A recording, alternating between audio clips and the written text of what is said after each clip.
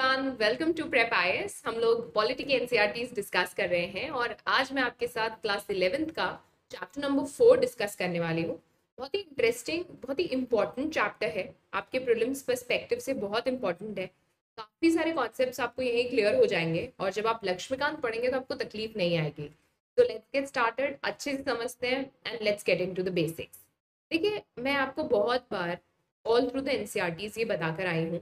That India is a parliamentary form of government now what is the meaning ये भी मैंने आपको समझाया है। ये एक ऐसा स्ट्रक्चर है जहाँ पर लेजिस्लेचर और एग्जीक्यूटिव दो वाटर टाइट कंपार्टमेंट्स में एग्जिस्ट नहीं करते। और ये जो एग्जीक्यूटिव है, ये लेजिस्लेचर की तरफ़ अपनी ज़िम्मेदारी रखते हैं। इसीलिए आप देखते हैं कि हमारे प्राइम मिनिस्टर्स हमारे कैबिनेट कैबिनेट मिनिस्टर्स लेजिस्लेचर का भी पार्ट है और अकाउंटेबल है अपने सारे डिसीजंस के लिए। तो ये बात समझना बहुत ज़रूरी है कि एक पार्लियामेंट्री सिस्टम में लेजिस्लेचर और एग्जीक्यूटिव इंटरडिपेंडेंट है, यानी कि इन दोनों के बीच में एक दीवार एग्जिस्ट नहीं करती। लेजिस्लेचर कहीं ना कहीं एग्जीक्यूटिव को कंट्रोल करता है और कुछ हद तक एग्जीक्यूटिव भी लेजिस्लेचर को कंट्रोल करता है। इस पर्टिकुलर चैप्टर में हम लोग हमारा फोकस रखेंगे towards executive organ of the government हम समझेंगे पार्लियामेंट्री फॉर्म ऑफ़ गवर्नमेंट में किस तरीके के एग्जीक्यूटिव प्रेसिडेंशियल एग्जीक्यूटिव किस तरीके के होते हैं। भारत में प्रेसिडेंट की क्या पोजीशन है? सीएम और काउंसिल ऑफ़ मिनिस्टर्स कैसे काम करते हैं? एंड फाइनली हमारी परमानेंट ब्यूरोक्रेसी हमारी परमानेंट एग्जीक्यूटिव क्या है और कैसे काम करती है? So let's understand and let's first ask our self कि एक एग्जीक्यूटिव होता क्या है? इफ़ आई आस्क यू कि आपके स्कूल में मेजर डिसीजंस कौन लिया करता था? उन डिसीजंस को इम्प्लीमेंट कौन करवाता था? तो आप कहेंगे लेट्स से प्रिंसिपल प्रिंसिपल ने कहा कि कल से सब लोग रिबन लगा कर आएँगे। तो आपकी जो टीचर है, उन्होंने चेक करना शुरू किया कि सब लड़कियों ने रिबन लगाया है या नहीं लगाया है, या फिर आपको लो वेस्ट पैंट्स नहीं पहननी एक्सेट्रा एक्सेट्रा तो हर ऑर्गेनाइजेशन में as simple as a school and as big as Google यहाँ पर कोई ना कोई एक ऐसा हेड होना चाहिए जो मेजर डिसीजंस ले और उन्हें इम्प्लीमेंट करे। ना इसी से हम एग्जीक्यूटिव टर्म पर आते हैं। एग्जीक्यूटिव मतलब वो organ of the government which is responsible for execution that is law बना तो लिया गया बाय द लेजिस्लेचर बट वो कैसे एग्जीक्यूट होगा? बड़े बड़े पॉलिसी डिसीजंस कैसे लिए जाएँगे? उनको सुपरवाइज कैसे किया जाएगा? ये सारा काम एग्जीक्यूटिव देखता है। सारे प्राइवेट ऑर्गेनाइजेशन में भी आपके पास एग्जीक्यूटिव होगा? But obviously in a democracy executive executive is has a big big role to play so what is the meaning of the word executive a body of person that looks after the as i said implementation of rules and regulation in actual practice आपने parliament में law बना लिया rules draft कर लिए पर वो ground पर कैसे दिख रहे हैं किस तरीके से इम्प्लीमेंट किए जाएँगे ये सारे फैसले एग्जीक्यूटिव द्वारा लिया जाता है ना आपको शायद अभी तक ये लग सकता है कि एडमिनिस्ट्रेशन का काम या एग्जीक्यूटिव का काम सिर्फ़ और सिर्फ़ इम्प्लीमेंटेशन है। पर यहाँ हमें ये समझना ज़रूरी है कि executive implementation of laws and policies तो करता है बट पॉलिसी डिज़ाइनिंग भी करता है। किस तरीके की पॉलिसी ली जाएँगी, कैसी वो दिखेगी before presenting it to the parliament उसका पूरा ड्राफ्टिंग का काम हमारे यहाँ पर कौन देखता है? एग्जीक्यूटिव अब जब भी मैं आपसे एग्जीक्यूटिव कहूँ तो आप दो चीज़ें याद रखिएगा। एक हमारे पास है पॉलिटिकल एग्जीक्यूटिव और एक हमारे पास है परमानेंट एग्जीक्यूटिव पॉलिटिकल एग्जीक्यूटिव मतलब हमारे नेता लोग, हमारे एम पीज एम जो बाद में जाके आपके कैबिनेट मिनिस्टर्स बनते हैं। Because see when they are part of the legislature you can call them member of parliament और in the state level you can call them MLA इन्हीं में से कुछ लोग चुनकर एग्जीक्यूटिव का पार्ट बनते हैं। जैसे कि हमारे प्राइम मिनिस्टर हमारे cabinet minister in case of state legislature आपके सीएम तो ये लोग जो पॉलिटिकल इन नेचर हैं जो इलेक्शंस के थ्रू आए हैं और जो अगले पाँच साल बाद बदल सकते हैं उन्हें हम कहते हैं पॉलिटिकल एग्जीक्यूटिव एक एग्जीक्यूटिव होते हैं परमानेंट एग्जीक्यूटिव जिसके लिए आप तैयारी कर रहे हैं द ब्यूरोक्रेसी जो कि परमानेंट है। परमानेंट इस सेंस में है कि गवर्नमेंट आ जा सकती है बट ये एग्जीक्यूटिव हमेशा रहेंगे of course until they retire or they are uh, you they're terminated from the service so, political executive would be about these people who are coming through elections and permanent executive would be people who are coming through competitive examination. अब देखिए, जो head of the government है, हमारे case में जैसे कि prime minister है और जो मिनिस्टर्स हैं, उनको पूरी ओवरऑल गवर्नमेंट की पॉलिसी देखनी होती है। बट डे टू डे कैसे काम चलेगा? एक डिस्ट्रिक्ट मैजिस्ट्रेट एक जो डीएम है आपके स्टेट आपके प्लेस के, आपके सिटी के, वो ये देखेंगे कि डे टू डे एडमिनिस्ट्रेशन कैसे हो रहा है ये लोग जो एक्चुअली ग्राउंड पर काम करते हैं डे टू डे एडमिनिस्ट्रेशन देखते हैं एंड ऑल्सो आपके पॉलिटिकल एग्जीक्यूटिव को सपोर्ट करते हैं पॉलिसी डिसीज़न में। इनको हम बोलते हैं permanent executive so please remember एक हो गया आपके पोलिटिकल एग्जीक्यूटिव और एक हो गए आपके परमानेंट एग्जीक्यूटिव आई होप ये बात आपको समझ में आई। अब क्या पूरी दुनिया में एग्जीक्यूटिव एक ही टाइप के होते हैं? क्या एक ही तरह से गवर्नमेंट चलती है? क्या एक ही तरह से सरकार चलती नहीं? इंटरेस्टिंगली आपके एनसीईआरटी e आपको बता रही है कि अलग अलग देशों में किस किस तरीके के सिस्टम देखने को मिलते हैं। अगर आप यूएसए चले जाएँगे तो वहाँ प्रेसिडेंशियल सिस्टम है। यानी कि सारे के सारे एग्जीक्यूटिव पावर्स कंप्लीटली किसके हाथ में है? प्रेसिडेंट के हाथ में। जब हम यूएसए का नाम सुनते हैं we don't get to hear about the prime minister क्योंकि वहाँ पर प्राइम मिनिस्टर एग्जिस्ट ही नहीं करते, वहाँ पर सारे के सारे पावर्स किसके पास है? प्रेसिडेंट के पास है। आप कनाडा तो चले जाएँ तो वो पार्लियामेंट्री डेमोक्रेसी है। लेकिन वहाँ पर कॉन्स्टिट्यूशनल मोनार्की भी है, क्योंकि वो अपना हेड किसको मानते हैं? Queen Elizabeth two but of course उनके पास कुछ इंपॉर्टेंट पावर्स नहीं है। अल्टीमेटली पावर किसके पास है? प्राइम मिनिस्टर के पास, जो कि वहाँ के क्या है? Head of the government France में आप चले जाएँ तो वहाँ आपको प्रेसिडेंट भी मिलेंगे, प्राइम मिनिस्टर भी मिलेंगे। इसीलिए उसको कहा जाता है सेमी प्रेसिडेंशियल प्रेसिडेंट है, ज़्यादा पावरफुल है but at the same time prime minister भी एग्जिस्ट करते हैं। तो if you go to France president will appoint the prime minister president will appoint all the ministers they can not dismiss them right dismiss वो क्यों नहीं कर सकते? क्योंकि इनकी रिस्पॉन्सिबिलिटी किसकी तरफ़ है? पार्लियामेंट की तरफ़। तो आप देख रहे हैं कैसे प्राइम मिनिस्टर भी है, प्रेसिडेंट प्रेसिडेंट भी है, ऐसे सिस्टम में जहाँ दोनों एग्जिस्ट करते हैं, उनको कहा जाता है semi presidential form of government. Japan की बात कर लेते हैं। जापान में पार्लियामेंट्री सिस्टम है। उनके हेड ऑफ़ द स्टेट कौन है? उनके एम्पर है। प्राइम मिनिस्टर कौन है? हेड ऑफ़ द गवर्नमेंट है। Similarly if you go to Italy parliamentary system में हमेशा आप देखेंगे that would be a prime minister who they would they can be um, uh, of course the cabinet is there and all that happens. But you would see जो real powers में वो किसके पास होंगे? Head of the government के पास. If you go to Italy तो वहाँ पर आपको प्रेसिडेंट मिलेंगे पर वो फॉर्मल हेड है राइट प्राइम मिनिस्टर जो है वो रियल हेड है यानी कि आपके हेड ऑफ़ द गवर्नमेंट है. If you go to Italy it has a parliamentary system with the president as the formal head, as i told you, and prime minister is the head of the government. Russia again semi presidential system है। क्यों? क्योंकि president है president head of the state है prime minister है head of the government है appoint कौन करता है? प्रेसिडेंट करते हैं। जर्मनी चले जाए again parliamentary form of government president is the ceremonial head of the state and the chancellor is the head of the government तो आप देख रहे हैं, आपने एक कॉमन चीज़ देखी होगी कि जितनी भी पार्लियामेंट्री फॉर्म ऑफ़ गवर्नमेंट है, वहाँ रियल पावर्स किसके पास है? आपके प्राइम मिनिस्टर के पास अब आप उनको चांसलर कह लीजिए जर्मनी के केस में but this person is the head of the government please take note जबकि प्रेसिडेंशियल सिस्टम में अगर आप चले जाएँ तो वहाँ हेड ऑफ़ द स्टेट भी प्रेसिडेंट है हेड ऑफ़ द गवर्नमेंट भी प्रेसिडेंट है। और इसका बहुत अच्छा एग्ज़ाम्पल है यूएसए जहाँ पर प्रेसिडेंट बहुत बहुत पावरफुल है थ्योरी में भी प्रैक्टिस में भी। इंडिया जैसी कंट्री में थ्योरी में आपको प्रेसिडेंट बहुत पावरफुल मिलेंगे, लेकिन प्रैक्टिस में उनके पास सेरेमोनियल पावर्स है रियलिटी में कुछ खास पावर्स नहीं है। US Brazil most nations of Latin America में आप देखेंगे प्रेसिडेंशियल फॉर्म ऑफ़ गवर्नमेंट है और आप नाम से भी समझ सकते हैं, इतने इंपॉर्टेंट है president the entire system is called the presidential form of government बहुत ही ब्यूटीफुली एनसीईआरटी ने इस डायग्राम से आपको ये पूरी कहानी समराइज कर दी है। कलेक्टिव लीडरशिप है। मतलब आप प्रेसिडेंशियल सिस्टम के फॉर्म में देखते हैं, एक इंडिविजुअल बहुत पावरफुल है बट यहाँ पर कलेक्टिव लीडरशिप है। कैसे?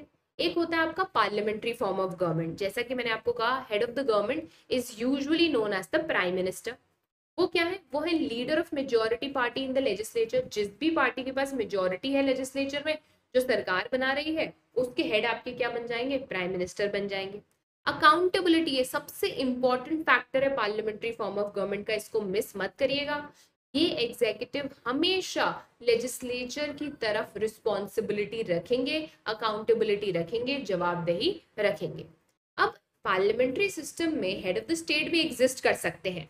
But head of the state अगर मोनार्क है तो उसको हम कहेंगे कॉन्स्टिट्यूशनल मोनार्की अगर प्रेसिडेंट है तो हम कहेंगे पार्लियामेंट्री रिपब्लिक रिपब्लिक का हम मतलब पहले भी समझ के आए हैं। दोनों ही केसेस में आपके एग्जीक्यूटिव सेरेमोनियल है। या सेरेमोनियल का मतलब क्या है? They exist only for the sake of it उनके पास कोई रियल पावर्स नहीं है। Semi presidential system semi presidential system में जो प्रेसिडेंट है, वो हेड ऑफ़ द स्टेट होंगे prime minister head of the government होंगे एंड पीएम और उनकी काउंसिल किसकी तरफ़ रिस्पॉन्सिबल होगी? लेजिस्लेचर की तरफ़। You can see president would be a more powerful in most cases इसीलिए इसको सेमी प्रेसिडेंशियल सिस्टम कहते हैं। देखिए, ऐसा भी हो सकता है कि प्रेसिडेंट दूसरी पार्टी के हैं प्राइम मिनिस्टर दूसरी पार्टी के हैं। प्रेसिडेंशियल फॉर्म ऑफ़ गवर्नमेंट में सबसे पावरफुल कौन? President head of the government भी है हेड ऑफ़ द स्टेट भी है. And the president is usually directly elected by the people ये बहुत इंपॉर्टेंट पॉइंट है, क्योंकि प्रेसिडेंट को कौन इलेक्ट कर रहा है? डायरेक्टली लोग इलेक्ट कर रहे हैं. इसीलिए जो प्रेसिडेंट है, वो रिस्पॉन्सिबिलिटी किसकी तरफ़ रखते हैं? लोगों की तरफ़. नॉट टूवर्ड्स द लेजिस्लेचर ये डिस्टिंग्विशिंग पॉइंट है बिटवीन पार्लियामेंट्री एंड प्रेसिडेंशियल आप यूएस प्रेसिडेंट और यूएस लेजिस्लेचर के बीच में एक वाटर टाइट कंपार्टमेंट देखते हैं। ये काम अलग कर रहे हैं, ये अलग काम कर रहे हैं। The president will not go and sit in the legislature not answerable to the legislature ये बातें बिल्कुल क्लियर रखिएगा। बेसिक अगर स्ट्रॉन्ग है तो आगे जब आप पढ़ाई करते हैं तो तकलीफ़ नहीं आती है। ना अगेन पार्लियामेंट्री सिस्टम में prime minister is the head of the government ये मैंने आपको बता दिया।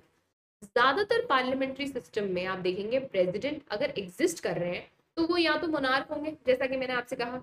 या फिर प्रेसिडेंट होंगे बट रियल सेंस में उनके पास लगभग कोई पावर नहीं होते। वो म्योर हेड है। कभी कभी टर्म यूज़ किया जाता है रबर स्टैम्प है। असली पावर किसके पास होगा? प्राइम मिनिस्टर और उनकी कैबिनेट के पास। Please remember this and I also discussed with you presidential हमने देखा सेमी प्रेसिडेंशियल सिस्टम में क्या होगा? प्रेसिडेंट भी होंगे प्राइम मिनिस्टर भी होंगे। पार्लियामेंट्री सिस्टम की तरह ऐसा नहीं होगा कि प्रेसिडेंट के पास कोई पावर ही नहीं है। President will have some significant power और मैं जैसा कि मैंने आपको कहा ऐसा भी हो सकता है सेमी प्रेसिडेंशियल में कि प्रेसिडेंट किसी और पार्टी के हैं प्राइम मिनिस्टर किसी और पार्टी के हैं। सेम के भी हो सकते हैं अलग अलग पार्टी के भी हो सकते हैं। और इस वजह से कई कंट्रीज़ में इनके बीच में कॉन्फ्लिक्ट भी देखने को मिलता है। Now, this was of course a very brief or general idea of the story so far. अब बात करते हैं पार्लियामेंट्री एग्जीक्यूटिव इन इंडिया की। तो इंडिया में पार्लियामेंट्री एग्जीक्यूटिव किस तरह से काम करता है? क्या उसकी फंक्शनिंग है? लेट्स डिस्कस दैट तो देखिए, हम ऑलरेडी पार्लियामेंट्री सिस्टम कहीं ना कहीं देखकर आए थे इंडिया में through the government of India act 1919 and 1935 जिसकी वजह से कई सारे प्रोविजंस जैसे कि प्रोविंशियल लिस्ट का बनना, जैसे कि स्टेट लेजिस्लेचर को पावर मिलना, जैसे कि सेंटर में पावर का डिविजन होना। तो we had already seen how does the parliament work and how does the parliamentary executive function अब हमारे जो मेकर्स थे इंडियन कॉन्स्टिट्यूशन के, उनके बीच में ना एक बड़ा क्वेश्चन ये था कि हमें कोई ऐसा गवर्नमेंट बनाना है जो लोगों की नीड्स के प्रति रिस्पॉन्सिबल और अकाउंटेबल हो। अब आप इसके लिए प्रेसिडेंशियल सिस्टम भी लेकर आ सकते थे। President would be accountable to the people directly elected president बना सकते थे। पर देखिए, यहाँ पर प्रॉब्लम क्या था? इंडिया में ऑलरेडी एक पर्सनालिटी को गॉड मानने का बहुत से ट्रेंड चलता है। हम किसी को भी भगवान बना देते हैं या टू पावरफुल बना देते हैं। प्रेसिडेंशियल सिस्टम में हम प्रेसिडेंट पे बहुत ज़्यादा फोकस देखते हैं। Too much executive power president के पास है। बहुत चांसेस हैं कि इस सेंस में हमेशा एक personality cult personality worship exist करता, बहुत ज़्यादा ही पावर प्रेसिडेंट के पास आ जाता।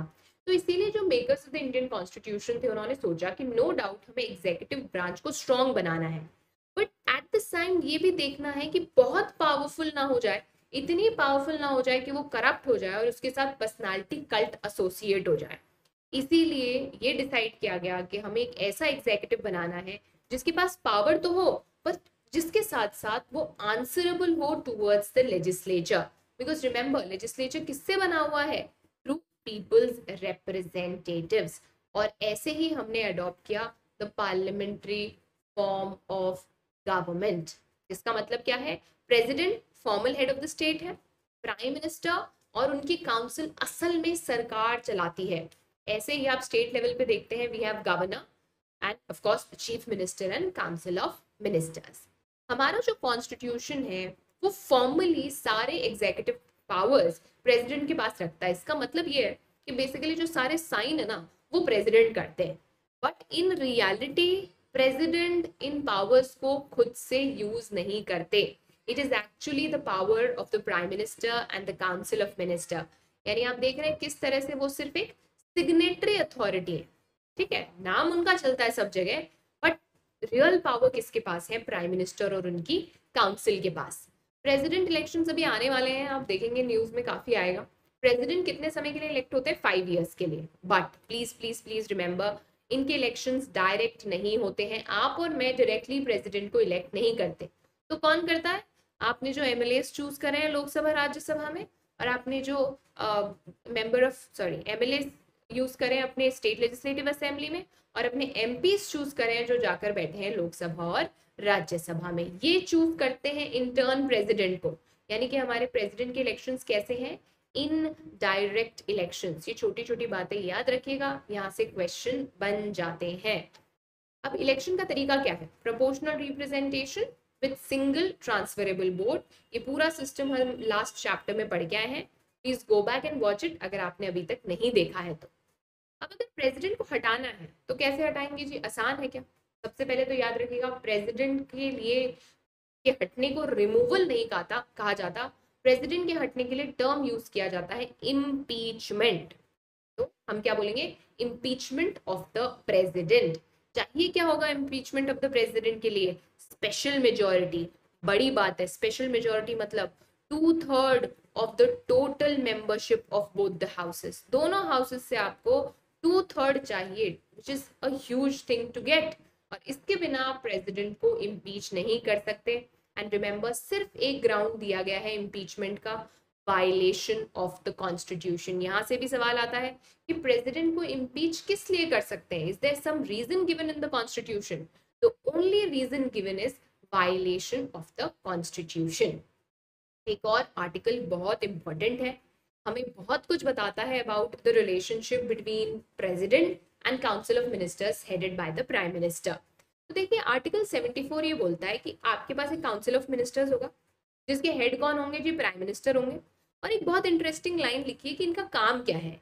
इनका काम है to aid and advice the president who shall in exercise of his function act in accordance with such advice यानी बोला है कि इनका काम है कि वो प्रेसिडेंट को एडवाइस करें और प्रेसिडेंट को इनके एडवाइस के हिसाब से चलना है यहाँ पर एक बहुत इंपॉर्टेंट बात है लिखा है कि provided that the president may require the council of minister to reconsider such advice the president shall act in accordance with the advice rendered after such reconsideration इसको थोड़ा सा ब्रेक डाउन कर हम अच्छे से समझ लेते हैं पूरी कहानी क्या है। तो देखिए इनिशियल कॉन्स्टिट्यूशन में लिखा था that the president shall act on the aid and advice of the council of ministers headed by the prime minister अब सवाल ये आया कि ये शल का क्या मतलब है? क्या शल का मतलब ये है कि बाइंडिंग है? मतलब जो भी एडवाइस प्राइम मिनिस्टर और उनकी काउंसिल देंगे, क्या प्रेसिडेंट को वो माननी पड़ेगी? ये बात को लेकर कंट्रोवर्सी हुई। और इसके लिए एक अमेंडमेंट लाकर इसको हमेशा के लिए क्लियर कर दिया गया। और वो अमेंडमेंट था फोर्टी सेकेंड अमेंडमेंट मैं बात कर रही हूँ ऑफ़ द ईयर 1976 क्या बोला गया फोर्टी सेकेंड अमेंडमेंट से? सिंपली ये बोला गया कि जो भी एडवाइस दी जाएगी by the prime minister and the council of minister it would be binding on the president to accept it please याद रखना, ये बहुत इंपॉर्टेंट बात है। यहाँ से क्वेश्चन बनता है कि क्या एडवाइस बाइंडिंग होगी? जो भी एडवाइस रेंडर की जाएगी by the prime minister and council of minister it is binding on the president to accepted किससे बोला गया ये? फोर्टी सेकेंड अमेंडमेंट से। इसमें एक और अमेंडमेंट किया गया in the year 44 1944 that is 4 plus 4 in the yeah I, what I meant was this is 44 जो किया गया 1978 में। तो आप इसको याद ऐसे रख सकते हैं। Four plus four eight nineteen seventy eight, four plus two six nineteen seventy six. मैं रिपीट कर दे रही हूँ। फोर्टी सेकेंड अमेंडमेंट आया नाइनटीन सेवेंटी सिक्स में फोर्टी फोर्थ अमेंडमेंट आया नाइनटीन सेवेंटी एट में। अब फोर्टी फोर्थ अमेंडमेंट से देखिए क्या बोला गया। आपने ये बोला, भैया, जो भी एडवाइस आ रही है by the prime minister and council of ministers वो प्रेसिडेंट को माननी पड़ेगी। तो इसका मतलब प्रेसिडेंट बिल्कुल कोई पावर ही नहीं रखते इस सेंस में। फोर्टी फोर्थ अमेंडमेंट से ये बोला गया कि अगर प्रेसिडेंट चाहे तो ये पर्टिकुलर एडवाइस वापस भेज सकते हैं काउंसिल ऑफ़ मिनिस्टर्स और प्राइम मिनिस्टर को टू रिकंसिडर यानी इस पर फिर से सोचो, मुझे इसमें कुछ गड़बड़ लग रही है। You go and think again कि क्या ये डिसीज़न सही है। तो आज की डेट में फाइनल कंक्लूजन क्या है, वो हम देख लेते हैं। आर्टिकल 74 ये बोलता है कि काउंसिल ऑफ़ मिनिस्टर्स है headed by the prime minister जो प्रेसिडेंट को एड एंड एडवाइस करेंगे। फोर्टी सेकेंड अमेंडमेंट से क्लियर कर दिया गया कि प्रेसिडेंट को ये एडवाइस मानना ज़रूरी है, उनके ऊपर बाइंडिंग है। फोर्टी फोर्थ से ये बोला गया कि ऑल ये एडवाइस बाइंडिंग है बट प्रेसिडेंट चाहे तो इसे रिकंसिडरेशन के लिए भेज सकते हैं। ये याद रखिएगा, बहुत ही इंपॉर्टेंट था। ना जैसा कि मैंने आपसे कहा president is the formal head of the government यानी कि जो सारे साइनिंग अथॉरिटी है, वो कौन है हमारे? प्रेसिडेंट है। पार्लियामेंट्री सिस्टम में, रियलिटी में ये प्रेसिडेंट के सारे काम, असल में council of ministers headed by the prime minister ही करते हैं। क्यों? क्योंकि इनके पास है majority support in Lok Sabha. They are peoples representative इनके इसीलिए है रियल एग्जीक्यूटिव जबकि प्रेसिडेंट क्या है? नेम सेक है। इसीलिए इनको बोलते हैं नॉमिनल एग्जीक्यूटिव यानी कि सिर्फ़ नाम के लिए। प्लीज़ याद रखना ज़्यादातर बाद ऑब्वियसली प्रेसिडेंट जो है एडेड uh, एडवाइस पे चलते हैं बट येस और she can send it for reconsideration ये वाला पॉइंट भी हमें याद रखना है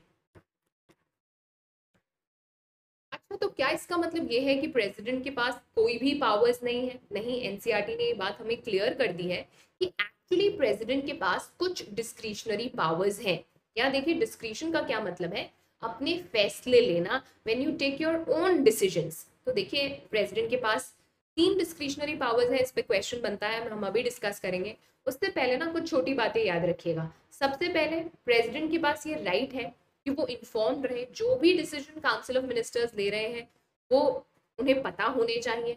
प्राइम मिनिस्टर से वो कभी भी सवाल कर सकते हैं about any particular decision about any particular deliberation और उन्हें बताना होगा।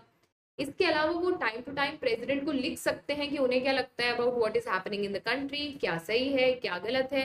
This all is possible in case of Indian president अब सवाल ये आता है, वो कौन कौन से समय है जो प्रेसिडेंट अपना डिस्क्रिशन यूज़ करते हैं? इनको ध्यान से देखिएगा, यहाँ से क्वेश्चन बनता है।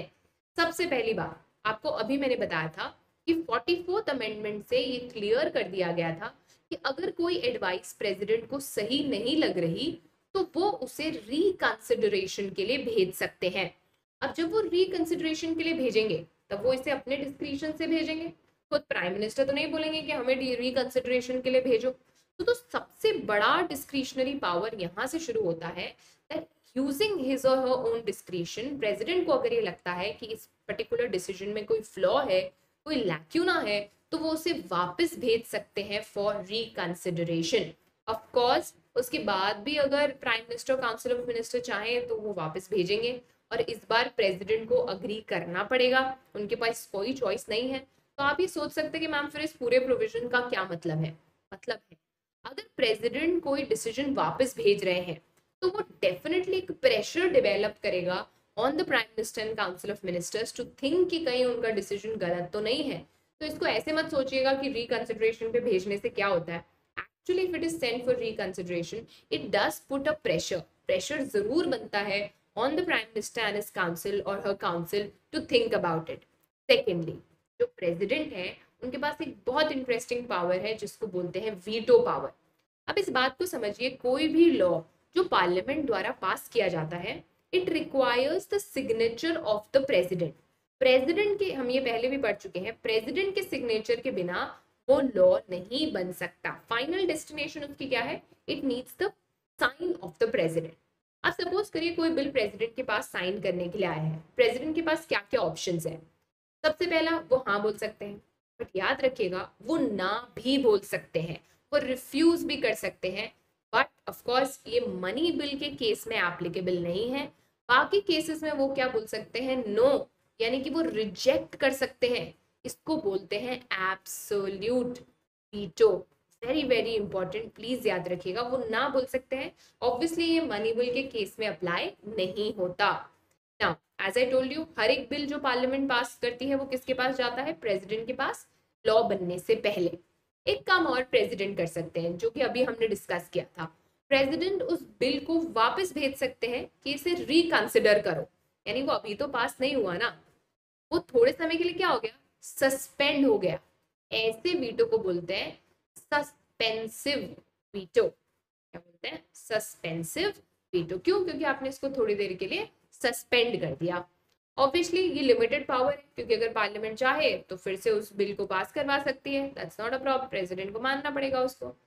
हाउएवर एक बहुत इंटरेस्टिंग बात है कि प्रेसिडेंट को कोई टाइम लिमिट नहीं दी हुई कि आपके पास जब बिल आया है ऑर्डिनरी सर्कमस्टांसिस में तो आपको उसको कितने दिन में हाँ या ना बोलना है। अब क्योंकि कोई टाइम लिमिट नहीं दे रखी प्रेसिडेंट एक काम और कर सकते हैं। उस बिल को उठाकर अपनी पॉकेट में डाल सकते हैं, यानी कि उसके बारे में भूल सकते हैं। इसका मतलब ये है कि प्रेसिडेंट उस बिल को पॉकेट में डालकर अगर भूल जाते हैं तो इफेक्टिवली वो पास नहीं हुआ ना, इसको कहा जाता है pocket veto now please remember तीन तरीके की वीटो मैंने आपसे डिस्कस करे absolute veto then I discussed with you suspensive veto and then I discussed with you pocket veto I hope आप इसको याद रखेंगे। नाउ तीसरा डिस्क्रिशन क्या है? ये थोड़ा सा पॉलिटिकल सर्कमस्टांसिस पे बेस्ड है। तो देखिए, हमारे यहाँ पर प्रेसिडेंट प्राइम मिनिस्टर को फॉर्मली अपॉइंट करते हैं। लेकिन कौन प्राइम मिनिस्टर बनता है? जिसके पास भी पार्लियामेंट में, लोकसभा में मेजोरिटी है।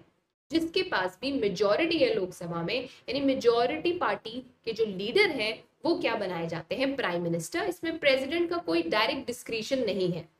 पर एक बार के लिए इमेजिन करिए कि इलेक्शंस हो गए और उसके बाद समझ नहीं आ रहा कि किसके पास क्लियर मेजोरिटी है। क्यों? क्योंकि किसी को भी सबसे ज़्यादा वोट्स नहीं मिले हैं और कोएलिशन पार्टीज़ बनने का सिलसिला चल रहा है। कोई किसी के साथ है, कोई किसी के साथ है। यानी कि ये क्लियर नहीं हो पा रहा कि अलायंस किसका बनेगा और किसके पास मेजोरिटी है लोकसभा की। इस पर्टिकुलर केस में बहुत इंपॉर्टेंट पावर आ जाती है प्रेसिडेंट के पास, जो ये डिसाइड करते हैं कि इस पर्टिकुलर सिचुएशन में कौन प्राइम मिनिस्टर बनेगा और फिर वो प्राइम मिनिस्टर अपनी मेजोरिटी को प्रूव करते हैं लोकसभा में।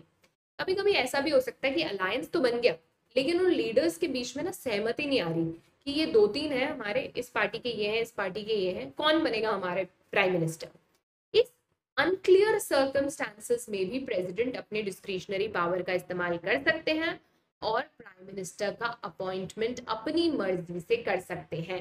तो थ्री डिस्क्रिशनरी पावर्स हमने डिस्कस करे। एक, जब वो एडवाइस को रिकंसिडरेशन के लिए भेज रहे हैं। सेकेंड हमने वीटो पावर्स डिस्कस करे। और थर्ड इस केस में हमने डिस्कस करा कि कैसे जो हमारे प्रेसिडेंट है, वो इन सर्कमस्टांसिस में जब क्लियर नहीं हो रहा हो would be the prime minister अपने डिस्क्रिशन का इस्तेमाल कर सकते हैं। याद रखिएगा, यहाँ से क्वेश्चन बनता है। प्लीज़ फोकस देयर अब जो प्रेसिडेंट इस केस में जो प्रेसिडेंट का डिस्क्रिशन है, वो ऑब्वियसली पॉलिटिकल कंडीशंस पे बेस्ड है। अगर किसी पार्टी को मेजोरिटी मिली है आसानी से तो वो अपनी गवर्नमेंट बनाएँगे।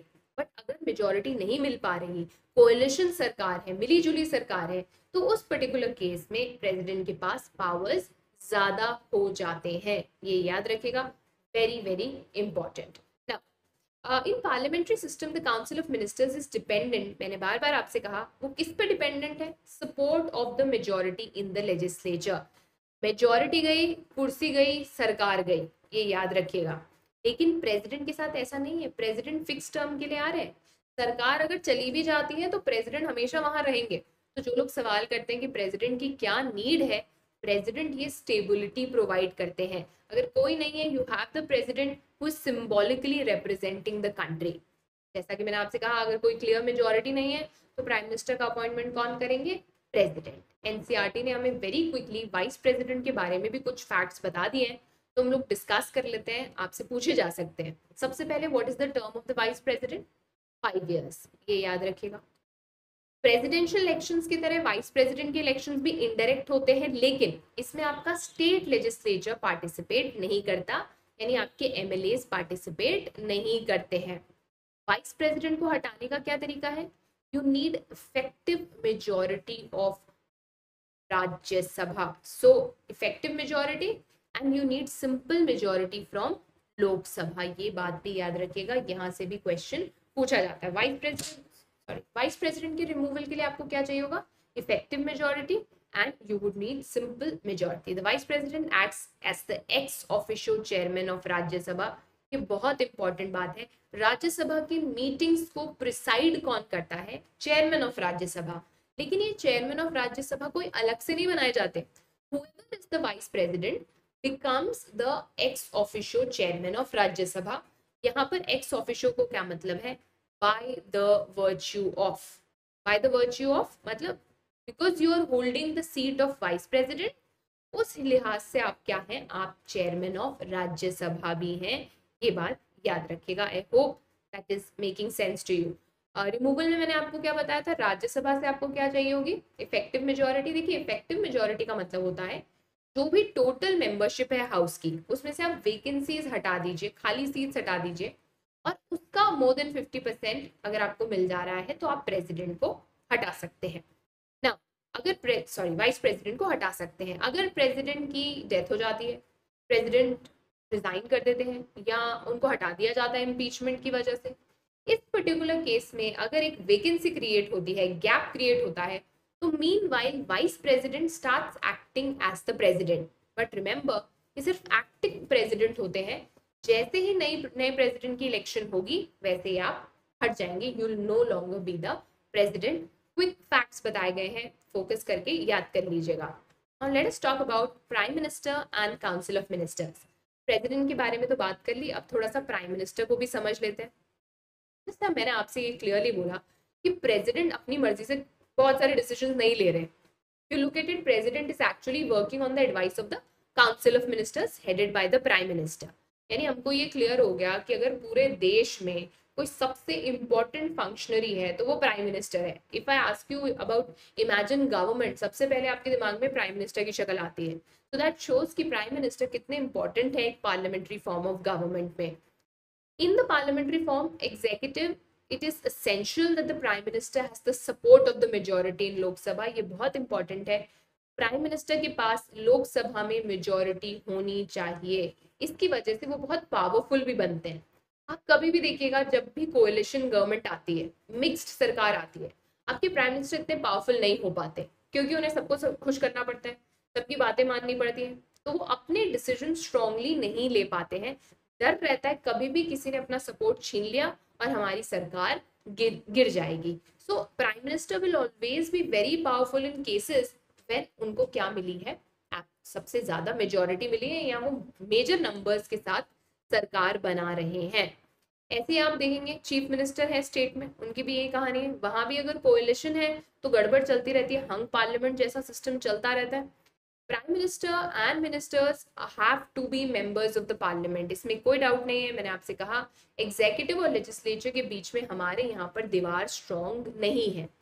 तो क्या इसका मतलब ये है कि अगर कोई मेंबर ऑफ़ पार्लियामेंट नहीं है तो वो प्राइम मिनिस्टर या मिनिस्टर नहीं बन सकते? बिल्कुल बन सकते हैं।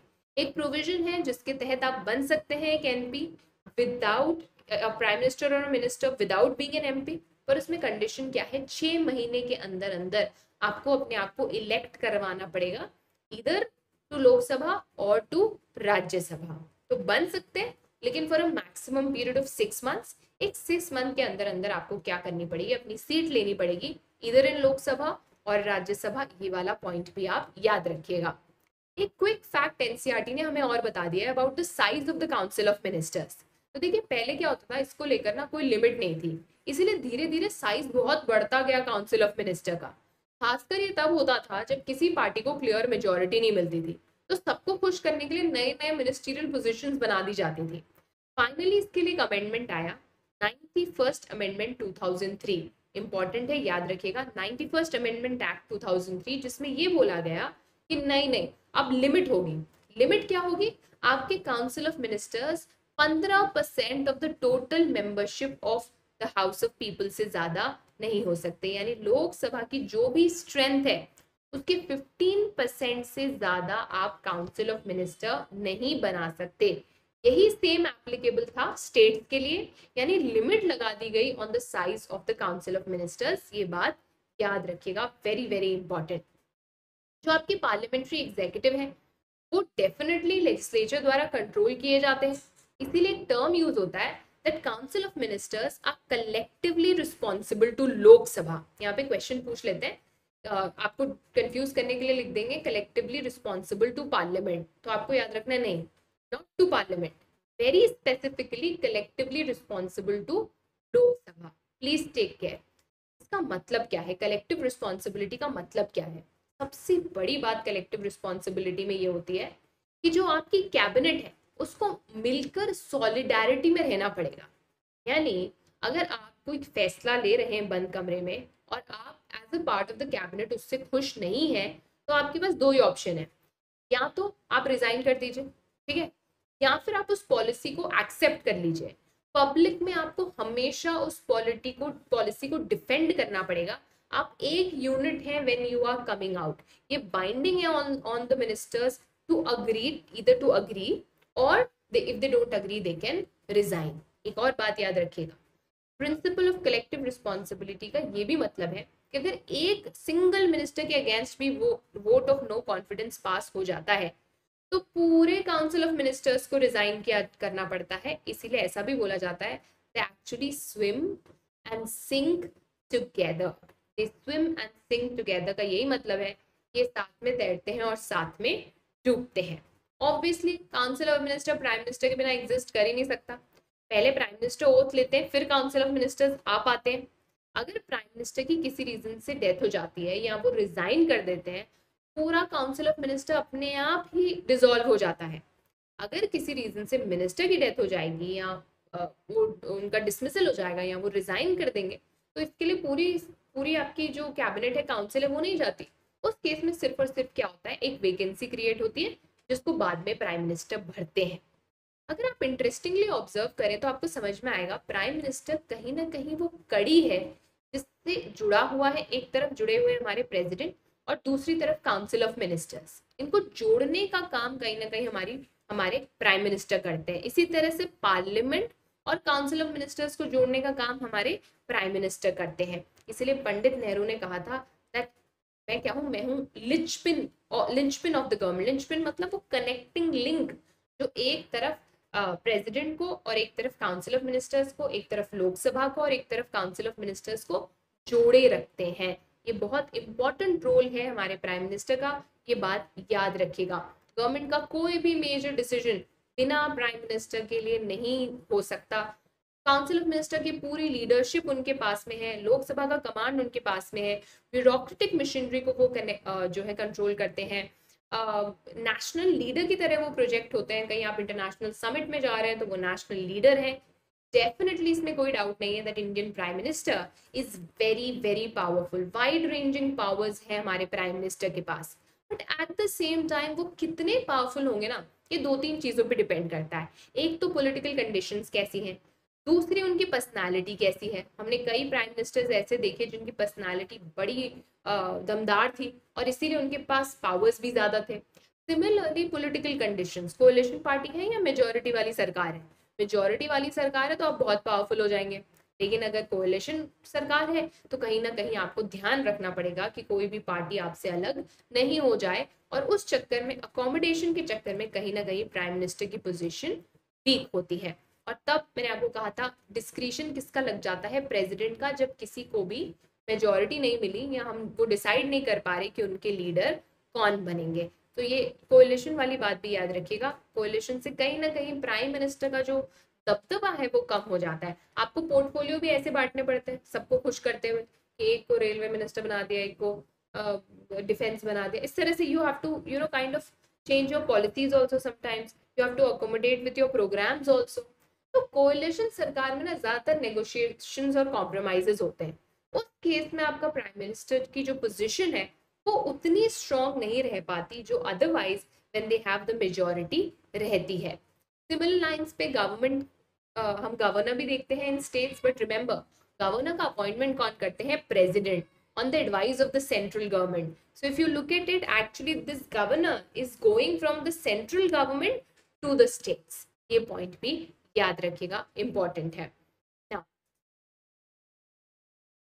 चलिए फाइनली बात करते हैं आपके बारे में, यानी कि परमानेंट एग्जीक्यूटिव ब्यूरोक्रेसी के बारे में, जिसके लिए आप एस्पायर कर रहे हैं। देखिए, किसी भी कंट्री के लिए परमानेंट एग्जीक्यूटिव स्ट्रॉन्ग होना बहुत ज़रूरी है because on ground implementation actually कौन देखता है? ब्यूरोक्रेसी देखती है। Obviously, government has the prime minister minister, but you can't forget a large organization जिसको हम ब्यूरोक्रेसी या फिर एडमिनिस्ट्रेशन की मशीनरी कहते हैं सिविल सर्वेंट्स कहते हैं। ट्रेंड ऑफिसर्स स्किल्ड ऑफिसर्स जो गवर्नमेंट के परमानेंट एम्प्लॉयज़ है, मैंने आपको कहा परमानेंट एग्जीक्यूटिव का मतलब ही यही है they have to assist the ministers policy framework में इम्प्लीमेंटेशन में, इन सब में एग्जीक्यूटिव का बहुत बड़ा रोल है। देखिए डेमोक्रेसी में इलेक्टेड मिनिस्टर्स इलेक्टेड रिप्रेजेंटेटिव्स हमेशा ज़्यादा पावरफुल होंगे, क्योंकि हम क्या बिलीव करते हैं? That these people are representatives of the people और हमारे यहाँ पर डेमोक्रेसी में सबसे इंपॉर्टेंट कौन है? लोग हैं। But at the same time ये पूरा एडमिनिस्ट्रेटिव सिस्टम कोलैप्स कर जाएगा अगर हमारे पास ये specialized officers administrators administrative officers नहीं है। बट एक बात क्लियर रखिएगा कि administrative officers they cannot act in violation of the policies adopted by the legislature so ultimately powerful, of course, legislature और उसकी वजह से पॉलिटिकल एग्जीक्यूटिव हैं, ये सब जानते हैं। But you can't deny the fact that it is the steel frame of our country ये वो मशीनरी है जिससे पूरी सरकार स्मूथली चलती है। Also remember they are politically accountable and politically neutral politically accountable का क्या मतलब है? जो भी पोलिटिकल एग्जीक्यूटिव को ये असाइन किए गए हैं the officers working for these political executives they are accountable they are answerable but they have to be politically neutral politically neutral मतलब आज किसी की सरकार है, कल किसी और की सरकार है। तो आप किसी सरकार से एसोसिएट नहीं हो सकते कि ये आई ऑफिसर इस सरकार का है।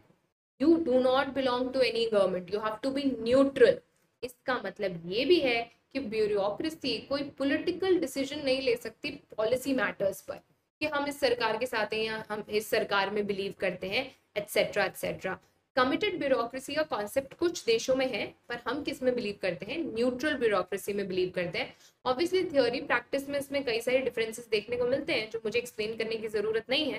But on ground on paper we can say that we believe in politically neutral bureaucracy किस किस तरह के ऑफिसर्स हैं हमारे पास? We have all India services हम डिटेल में समझेंगे क्या होती है। स्टेट सर्विसेज़ लोकल गवर्नमेंट के एम्प्लॉयज़ हैं टेक्निकल स्टाफ है मैनेजरियल स्टाफ है। वो स्टाफ जो आपके पब्लिक सेक्टर अंडरटेकिंग्स को देख रहा है तो देखिए बहुत ज़रूरी था कि इनका इलेक्शन एक ऐसी बॉडी के द्वारा किया जाए सिलेक्शन एक ऐसी बॉडी के द्वारा किया जाए जो बिल्कुल नॉन पार्टिसन और प्रोफेशनल हो। इसीलिए you have the great UPSC then you have state public service commission जिनके खुद के मेंबर्स का एक फिक्स्ड टर्म होता है, जिनको हटाना मुश्किल होता है। It is almost equal to the suspension of a जज ऑफ़ अ सुप्रीम कोर्ट इसीलिए ये स्ट्रॉन्ग प्रोविजंस बनाए गए ताकि यूपीएससी बिना फियर और फेवर के बिल्कुल फेयर तरीके से इन ऑफिसर्स का सिलेक्शन कर सके। Obviously these people are very very efficient merit के थ्रू इनका सिलेक्शन होता है but at the same time हमारे कॉन्स्टिट्यूशन ने ये भी इंश्योर किया कि एक बहुत ही रिप्रेजेंटेटिव ब्यूरोक्रेसी हो, इसलिए ब्यूरोक्रेटिक जॉब्स में आप देखते हैं रिजर्वेशन का कॉन्सेप्ट भी एग्जिस्ट करता है। एक बार ना क्लासिफिकेशन समझ लेते हैं इसका कैसे होता है। पहले होती है ऑल इंडिया सर्विसेज़ इसमें कौन कौन सी आती है? Indian administrative service Indian police service and also Indian forest services Indian forest services तो देखिए ऑल इंडिया सर्विस का सिंपल मतलब ये है कि ये वो लोग हैं who are appointed by the centre in officers का अपॉइंटमेंट कौन करता है? सेंटर करता है. बट ये काम किसके लिए कर सकते हैं? चाहे तो सेंटर के लिए भी कर सकते हैं. और चाहे तो स्टेट के लिए भी कर सकते हैं। पर ये नहीं चाहे, सरकार चाहे तो बेसिकली ऑल इंडिया सर्विसेज़ का मतलब ये है, ऐसी services where you are recruited by the centre but you can be assigned to work with the centre also और you can also be sent to a state ये बात याद रखिएगा। सेंट्रल सर्विसेज़ क्या होती है? When you are recruited by the centre and you work for the centre आपका recruitment भी सेंटर करता है, और आप काम भी सेंटर के लिए करते हैं आप स्टेट के लिए काम नहीं कर रहे हैं। Indian foreign services Indian custom services ये अच्छी एग्ज़ाम्पल है सेंट्रल सर्विसेज़ की। क्यों? Because they are recruited by the centre and they work for the centre state services क्या होती है? You are recruited by the state and you work by the state for the state ऐसे याद रखोगे हमेशा याद रहेगा। All India services recruited by the centre can work for centre और state central services recruited by the centre works for the centre state services recruited by the state and works for the state ये बात याद रखिएगा I S and I P S officer appointed by the central government मैंने आपको ये बता दिया। They can work for the central government और the state government that can happen इनके अगेंस्ट डिसिप्लिनरी एक्शन भी सिर्फ़ सेंट्रल गवर्नमेंट ले सकती है, ये भी याद रखिएगा। Because they are recruited by central government इनके अगेंस्ट कोई एक्शन लेना है तो वो भी कौन लेगा? सेंट्रल गवर्नमेंट लेगा। Talking of state public service commission हम फेडरलिज्म के चैप्टर में और पढ़ेंगे इसके बारे में how state public service commission works etcetera etcetera but you do have state services जहाँ पर रिक्रूटमेंट स्टेट के द्वारा किया जाता है और वो काम के भी किसके लिए करते हैं? स्टेट के लिए करते हैं। अब देखिए, भारत में ब्यूरोक्रेसी के साथ सबसे बड़ी प्रॉब्लम ये थी कि it is very very powerful और कई बार हम लोगों से सुनते हैं कि ना अनअप्रोचेबल है। हम बात नहीं कर सकते, हम अपनी बातें लेकर नहीं पहुँच सकते। हालाँकि देखिए, हर तरीके के ऑफिसर्स एग्जिस्ट करते हैं। और हम बहुत सारी अच्छी स्टोरीज भी देखते हैं। बट अगर हम ये करते कि हम परमानेंट एग्जीक्यूटिव को ऑल पावरफुल कर देते तो ये गलत होता। क्यों? क्योंकि हम डेमोक्रेसी में बिलीव करते हैं। और डेमोक्रेसी क्या बोलती है कि रियल पावर याद करिए मैं आपको पढ़ा के आई हूँ should rest with the people who are elected by the people of the country इसीलिए आप देखते हैं कि political executive will always be controlling the permanent executive और इसलिए इस बात का क्रिटिसिज्म भी होता है कि इतने सारे पॉलिटिकल इंटरफेरेंस की वजह से कहीं ना कहीं ब्यूरोक्रेसी बिना फेयर और फेवर के काम नहीं कर पाती। तो कई बार ये बात चलती है कि कुछ प्रोविजंस होने चाहिए जिससे सिविल सर्वेंट्स को इस पॉलिटिकल इंटरफेरेंस से बचाया जा सके एंड इनके अकाउंटेबिलिटी बढ़ाई जा सके। Accountability towards whom towards the citizens एक अच्छा तरीका of course right to information रहा है, जहाँ आप सवाल कर सकते हैं ब्यूरोक्रेसी से। उनको जवाब आपको देना पड़ेगा। Why don't you let me in the comment section क्या कुछ किया जा सकता है इस पोलिटिकल इंटरफेरेंस को कम करने के लिए? क्या ऐसा कर सकते हैं जिससे जो पोलिटिकल इंटरफेरेंस है, वो कहीं ना कहीं रिड्यूस हो in the life of a permanent executive obviously Bharat में एग्जीक्यूटिव बहुत इंपॉर्टेंट है। It has a lot of power और इसीलिए हमने इंश्योर किया कि वो इस पावर में करप्ट ना हो जाए। इलेक्शंस होते हैं कॉन्स्टिट्यूशनल लिमिट्स लगाई जाती हैं। लोग चेक रखते हैं एग्जीक्यूटिव पे लेजिस्लेचर चेक रखता है, ताकि एग्जीक्यूटिव एक ऑल पावरफुल एंटिटी ना बन जाए। So this was about the chapter on executive बहुत ही इंपॉर्टेंट चैप्टर है। प्लीज़ इसे अच्छे से रीड करिएगा। डायरेक्ट क्वेश्चन इससे आते हैं आपके एग्ज़ाम में। All the best I meet you with the next chapter